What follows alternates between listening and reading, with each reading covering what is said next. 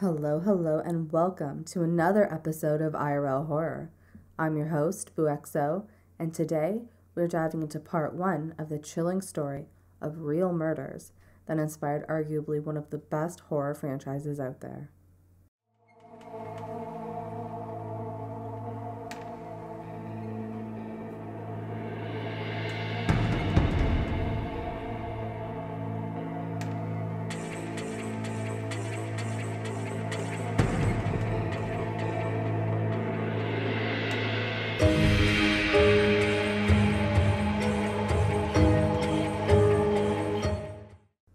Recently, the new Scream movie has been making headlines because, well, it exists. It's the first movie in the franchise for a decade. Simply titled Scream, like the first one, people opt to call it either Scream 2022 or Scream 5. I, for one, love these movies. They're my favorite franchise. What I think makes them so great, though, is that they are essentially a love letter of sorts to the horror genre. And we all know I love horror.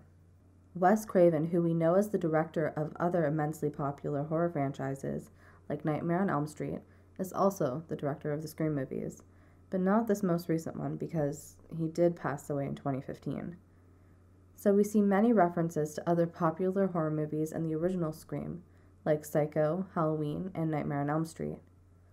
There are many nods to both actual things that happened in the movies and characters, but also one of the running themes in Scream is the rules of horror movies and just horror itself. I can certainly appreciate that. Now, I bring all of this up because I've been so excited about the new movie's release that I've been watching the others again. I know many people watch horror movies because they love the thrills, but we often comfort ourselves with the fact that they're fiction, they're movies. This stuff doesn't actually happen, and the boogeyman isn't going to grab our feet from under our bed or drag us through the closet. Or some crazed serial killer isn't going to somehow be hiding behind your shower curtain just waiting for you. Right? Well, sorry to be the bearer of bad news, but this stuff does happen. Maybe not always exactly as we see in movies, but it's one of the reasons I started this podcast. Being a writer myself, I know that real events and people inspire fiction. Which made me wonder if the Scream movies were based off of or inspired by any actual crimes, and if so, how. We often see books, scripts, movies, whatever, based off of or inspired by actual crimes, people, and events, whether very obviously inspired by or loosely.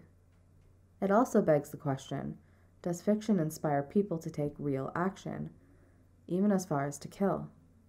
It turns out Scream was inspired by some murders and I had to go down the rabbit hole, so you're all coming along with me. Let's buckle up for this one because, well, it's from Florida, so as the meme goes, it's going to be crazy. I'm going to start this one a little different this time.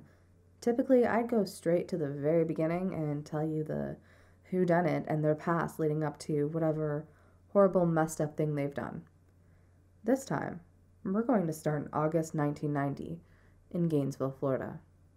So, around 6 p.m. on August 23, 1990, 17 year old Christina Powell and 18 year old Sonja Larson are at a local Walmart getting some stuff for their new apartment. You see, they're both very excited to start at the University of Florida in a few days, and this new chapter of their lives as adults.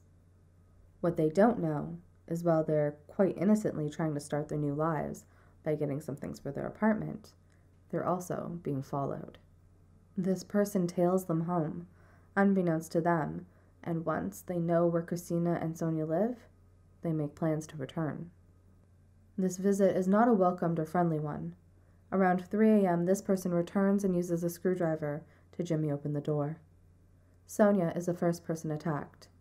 They bound her hands and tape her mouth and stab her repeatedly, killing her.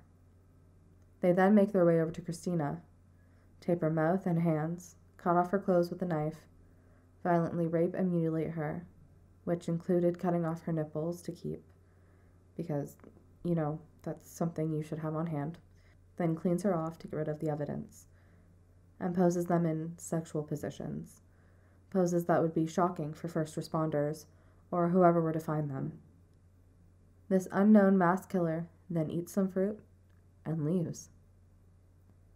Before Christina and Sonja's bodies are discovered, our masked killer decides they aren't done and keep a lookout for who to strike next. Unfortunately, Christa Hoyt was picked for that.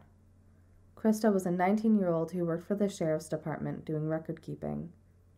She lived both close to the university and to Christina and Sonja. While she was out one night playing racquetball, a masked person used a screwdriver to open the door to her apartment. Because she wasn't home yet, they waited. When Christa did get home around 10:30 p.m., she had time to close the door and put down her keys before she was grabbed. Her hands and mouth were bound with tape, and she was brutally raped. She was stabbed repeatedly in the back until she died. Her body was mutilated just as Christina's was. Her nipples were removed and left beside her. If that weren't enough, it seems as though the killer spent some more time there, or perhaps return to the scene. By the time the police found her, her head had been cut off and left on a bookshelf adjacent to her body. Her body posed in a seated position. It seems this mass sicko would do whatever they could for the maximum shock value and hurt to whoever would find her. Interestingly, for those of you that like to know how these things are figured out, they were able to know that quite some time had passed and her body had been posed post mortem because of something called lividity. Now, when you die, your heart stops beating. So obviously, blood stops pumping. And the blood that is left will pool to the lowest part of the body because of gravity. And if it's been a long enough time, this pooled blood will become fixed, meaning it will stay there and will be able to be seen. Which is interesting, but also important to know how they realize this next chilling part of the story. So Christa Hoyt's body was found sitting up, but they actually found the lividity on her back. So that means that when she died, she was on her back, and on her back for enough time for the blood to pool. Now, I've found two different accounts of what did happen to her after she had passed. One that specified that the killer did come back for a forgotten wallet and then beheaded her, and another that simply says it's obvious he took his time there. So he either left, came back, and said, Wait a minute, this is simply just not disgusting or shocking enough. Let me just take some time here to be more of a disrespectful ass and do some more things to this person after I took their life. Or they just hung around until they decided to, well, do the same damn thing, I guess. They're serial killers. There's no point in trying to put logic into the actions here because I certainly don't get it. On August 26th, Christina Powell and Sonja Larson's bodies are found. Christina had spoken to her parents when she moved in that week. They were close enough that they had planned to talk to her again soon. When her parents didn't hear from her for a couple days, they got worried and made the trip to Gainesville. They likely thought their daughter was just busy with her new friends, the anticipation of school, and getting settled, as she should be. What they found changed their lives forever. The news of their deaths spread fast. Tracy Paules had heard of Christina Powell and Sonja Larson's murders earlier that day. It put her on edge, like it would for anyone considering she lived close to them and the school, and she was around their age at 23. She was going to school and had aspirations of being a lawyer. Just like them, she was trying to get an education and live her newfound adult life. And she was home alone. She spent her evening talking to a friend on the phone waiting for her roommate to get back. Manny Taboada worked as a bartender and wouldn't be home until late that night. He was decently sized, at about six foot two and somewhere around 200 plus pounds. He was certainly capable of holding his own. When he got home around 2:30 a.m., I'm sure Tracy was relieved. Unfortunately, she shouldn't have been. It was already too late. Her worries were valid. She had already been followed, and the masked murderer had already planned to pay her a visit. Somewhere around 3 a.m., their door is opened using a screwdriver, and the masked sicko makes his way towards their rooms. He ends up going to Manny's first, seemingly surprising him in his sleep, stabbing him 31 times. He fought back, but wasn't successful. He was likely too badly wounded from the surprise attack as he slept. Tracy attempted to lock her bedroom door, but wasn't able to stop the attack. The person kicked down her door, bound her hands and mouth with tape, like the other women, and brutally raped her, stabbing her three times to kill her. As I was poking around, I noticed it doesn't seem as though Tracy was mutilated. It made me curious, and digging around some more, I came across someone talking about how they're from Gainesville. They said that there's this rumor or theory that has gotten around that the people who uh, called the police did so after they walked in to check on Tracy and Manny. Perhaps after hearing a struggle, where they promptly walked back out to call when they saw a black bag and blood. They say that when they got back, the black bag was gone, which supports this running theory that the mass sicko was interrupted and perhaps simply didn't have the chance to finish what he was doing. If that's the case, those people are lucky he didn't just turn on them, although he was clearly more the type to sneak up on people while they were sleeping. Unfortunately, they didn't interrupt the actual murders. It's nice to know that neighbors will check on you, though. No one deserves what happened to these young innocent people, or the first responders, or friends and family that had to find them. It's all just too much, and clearly done by someone made of pure evil someone who clearly wanted to shock, hurt, and destroy as much as they possibly could, while doing whatever they did for their own sick gratification. The stuff done to these people is horrific, and there's never an excuse for anything of the sort. But who did it? Who is responsible for taking these young lives? No one had a clue. It turns out that Tracy and Manny would be the last people to be murdered in this exceptionally violent and disturbing strange weekend murder spree. With all the murders now discovered, Gainesville was on high alert. Everyone was on edge, terrified and grieving. Would the mass sicko dubbed by the media as the Gainesville Ripper strike again? No one knew. The police set up a tip line ending up with something crazy like 6,900 leads and had 1,500 pieces of evidence to comb through. Quite a few of those tips pointed to one individual, someone people seemed very concerned about. A 19 year old student named Edward Humphrey.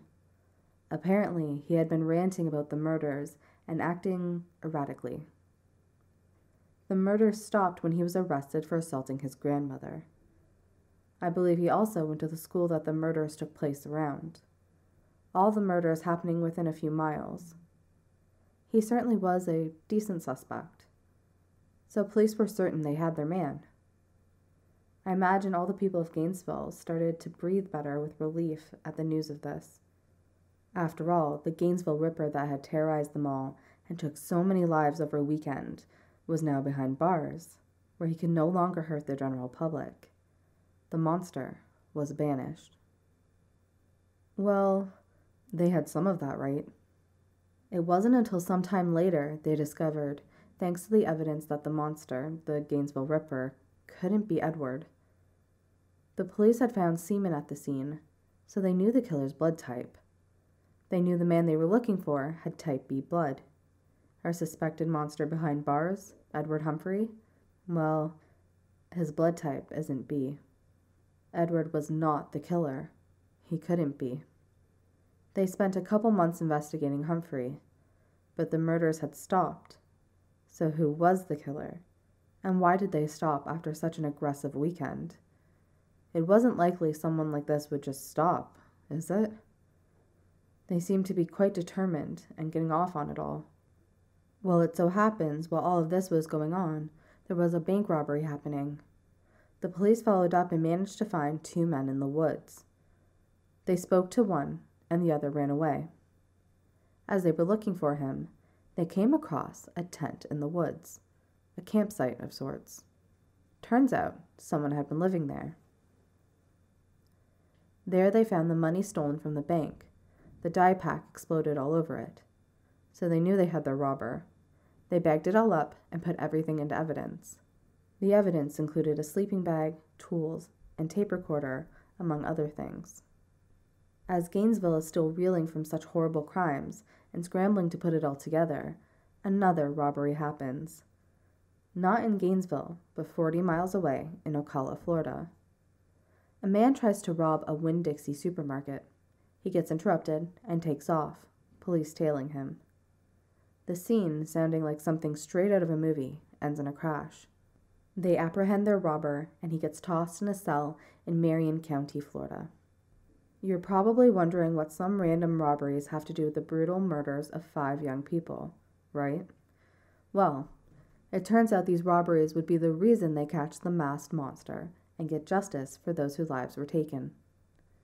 The robber's name is Danny Rolling, for future reference. So back in Gainesville, police have hit a roadblock.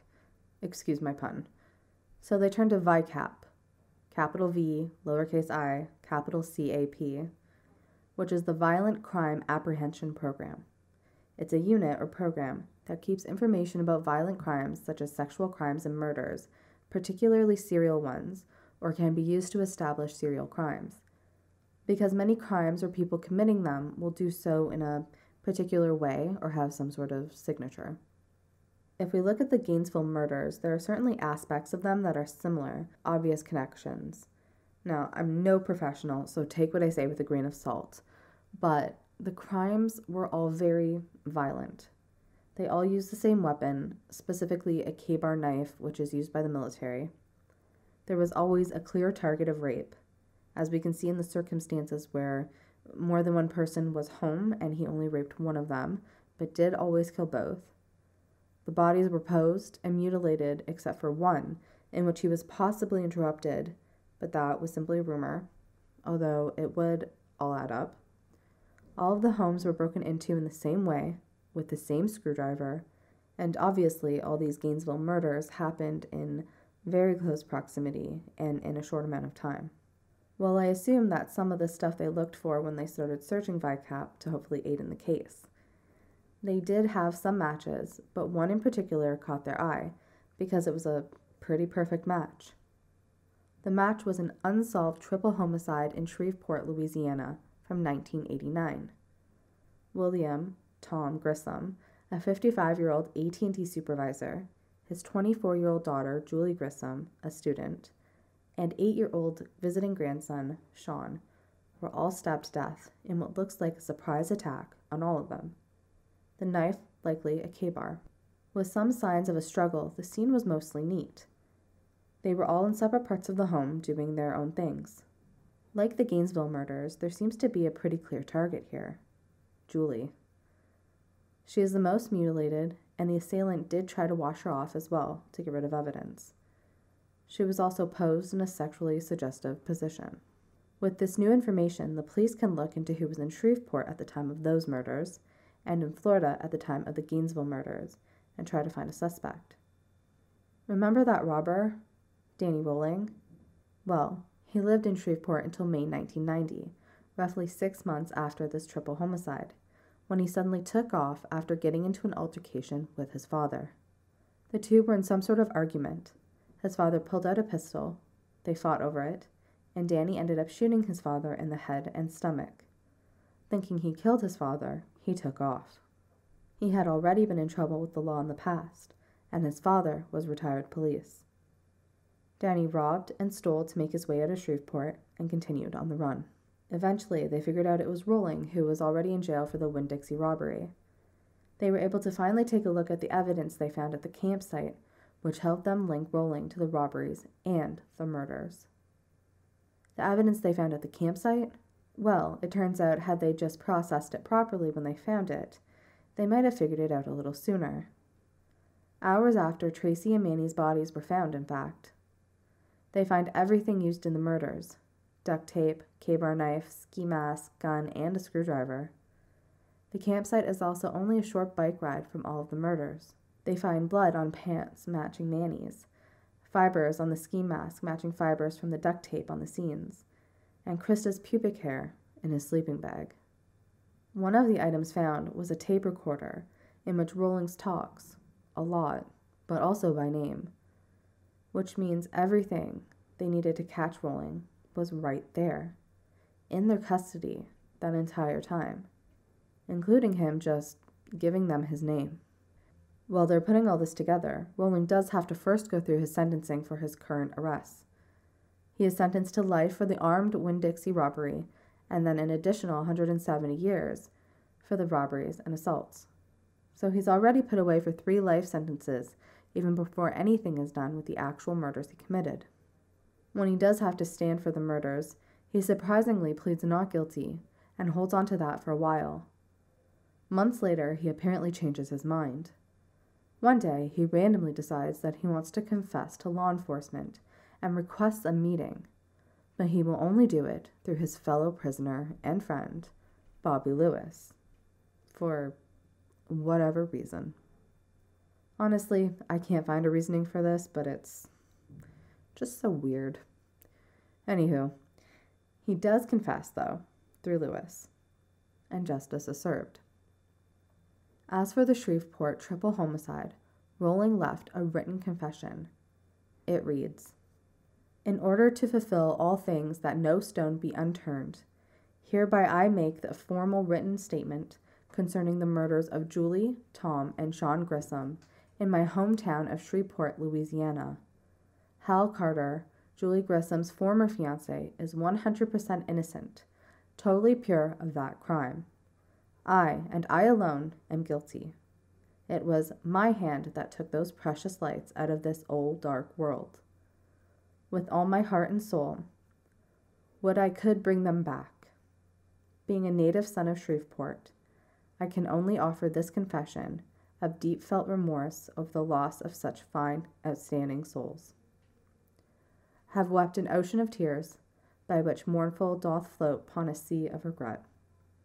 Danny Rolling. I don't know what I make of that, so I'll leave that up to you. There is another twist here, though. Rolling claims that it wasn't exactly him that committed these murders. He says it was someone inside him, that he has multiple personalities. He says the murders weren't committed by the childlike Danny or another personality. He says his name Yenid. Enid. Yenid? Danny, spelled backwards. But rather a third, Gemini. Now, if you're a fan of the Exorcist movies, you may see where this is going. The Exorcist 3 came out on August 17, 1990, in the United States, just days before the murders. In the movie, there is an evil being that is blamed for the killings and mutilations of the people in the movie, much like Rolling is blaming Gemini, his supposed alternate personality, for the killing, rapes, and mutilations of five young people. Rolling does admit to seeing the movie shortly before the killings started, possibly even mere hours before. You might be wondering what a psychologist says about all of this. Well, lucky for you, I found an article. It quotes a care provider speaking to Rolling's claims of Gemini and Enid, Yanid, Danny backwards. They say that Rolling's diagnosis is not that he has some sort of things possessing him, but rather that he has a borderline personality disorder and that he is using Gemini as a way to cope with his deplorable actions. Rolling, in a session, also said at one point that the murders were, quote, like a bad horror movie. So, really, this brings me all back to the beginning the inspiration for Scream. The Gainesville Ripper, or rather, the deplorable, unmasked monster, Danny Rolling's actions, were the inspiration for Scream. But he may have been inspired by a movie himself The Exorcist 3. Can movies truly inspire the actions of murderers? We know fiction is inspired by real life people and events, but can the same be true for life? Can movies make a murderer? With that question, I will end this here. But no, no, no, don't you fret. I am not done with this story or this topic. We will pick it back up next week for part two. I'll see you there. In the meantime, thank you for listening. And until next week, stay spooky and please stay safe.